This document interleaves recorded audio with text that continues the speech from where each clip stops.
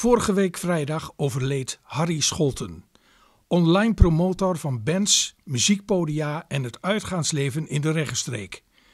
Ook voor Hoi Media is hij heel belangrijk geweest voor reclame van diverse programma's.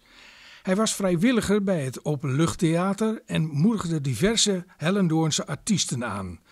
We hebben een belangrijk Nijverdallen verloren. In memorandum Harry Scholten.